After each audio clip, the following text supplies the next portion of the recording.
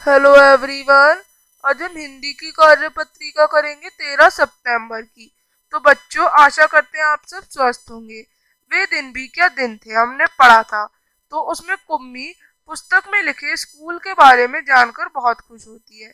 तो क्या आप कुम्मी के स्कूल की कल्पना कर पाएँगे? हाँ वो कंप्यूटर के समय का स्कूल था। बच्चे कंप्यूटर पे पढ़ते थे, अकेले पढ़ते थे, पर इसमें आनंद भी आता था। उन्हें एक नई चीज़ सीखने को मिलती थी। अब पाठ के आधार पर नीचे दिए गए वाक्यों को पूरा कीजिए। रोहित को एक पुराने डिब्बे में डैश मिली, एक पुस्तक मिली। पुस्तक में शब्द डैश रहते थे, चलते नहीं है।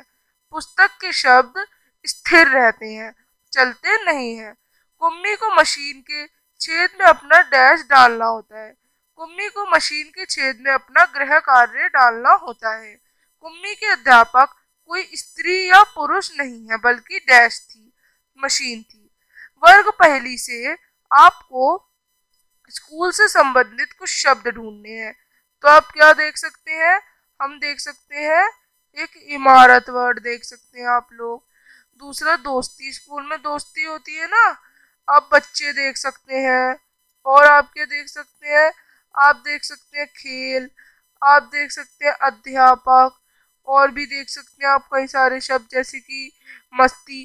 तो आप इस तरह से इन्हें ढूंढेंगे और फिर अपनी वर्कशीट कॉपी में लिखेंगे जैसे हमने लिखे हैं इस तरह से। अब आगे क्या है? आगे बच, सभी बच्चों को अपने कुम्मी ऑनलाइन पढ़ पढ़ाई करती है। कोविड महामारी के कारण आप भी ऑनलाइन पढ़ाई कर रहे हैं। सदूर क्षेत्र यानी बहुत दूर में रहने वाले किसी रिश्तेदार को पत्र लिख के बताएँ कि आपको ऑनलाइन पढ़ना कैसा लगता है? तो हम इस तरह से कुछ पत्र लिखेंगे। पहले तीन लाइन में अपना मकान का एड्रेस लिखेंगे। सबसे ऊपर मकान नंबर फिर घर का पता कि कौन सी गली में है, किस जगह पर है, और उसके बाद शहर का नाम लिखेंगे। जैसे दिल्ली, कलकत्ता, बिहार और और हमारा यूपी कुछ भी। फिर डेट डालेंगे। फिर आप कोई भी रिश्तेदार का नाम लिखेंगे। जैसे मैंने लिखा है, प्रिय चाचा। कैसे हो आप? आशा करता हूँ कि कुशल होंगे। जैसा कि आप जानते हैं, कोरोना महामारी के कारण शिक्षा ऑनलाइन हो रही है। ये कक्षाएँ बहुत मज़ेदार हैं। इनमें बहुत मज़ा आता है। और ये हमारी एक पाठ वे दिन भी क्या दिन थे। वैसा ही है। यह माध्यम पढ़ाई का एक अच्छा स्रोत भी है।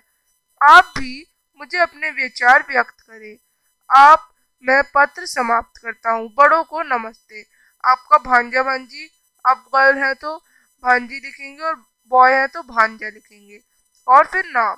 तो इस तरह से आप ये वर्कशीट करेंगे। अब आपको क्या बातचीत करनी है? तो आप एक ये क्या देख सकते हैं? दर्जी। और ये है एक खरगोश। तो ये खरगोश कह सकता है, अरे नाई भैया, मेरे लिए कपड़े सिल दो जरा।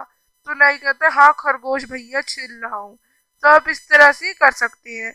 अब हम मिलेंगे नेक्स्ट वर्कशीट के साथ। तब तक के लिए बात